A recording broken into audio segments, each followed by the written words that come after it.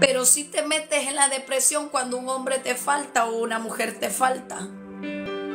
Pero a ti te puede faltar Dios todo el año, todos los meses, todos los días y no dices nada.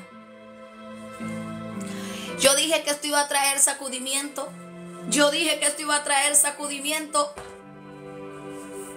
El hombre se puede ir un mes de tu casa y te desvives y te quieres morir por ese hombre. La mujer se va de tu casa y te quieres morir por esa mujer.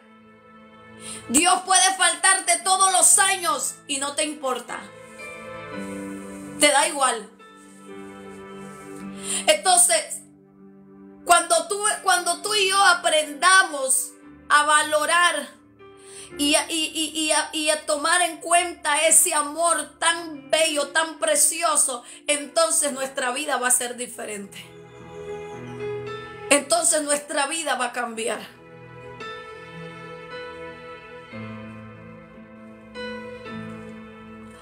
Y yo me imagino a Dios diciéndole, nosotros diciéndole a Dios, Señor, mira que ese hombre me traicionó, me quiero morir.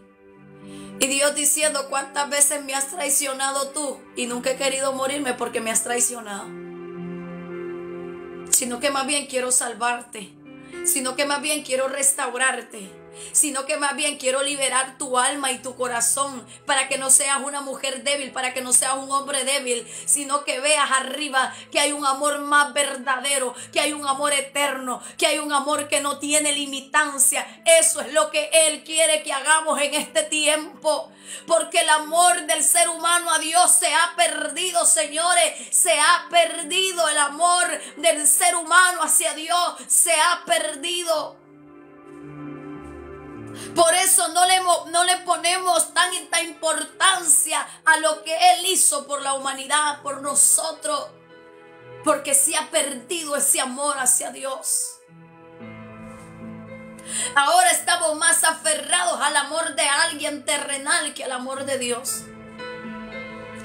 Y el amor de un hombre, de una mujer, te va a lastimar, te va a traicionar, te va, te va a herir, te va a golpear, no solamente físicamente, sino emocionalmente. Pero dime si el amor de Jesús hace eso.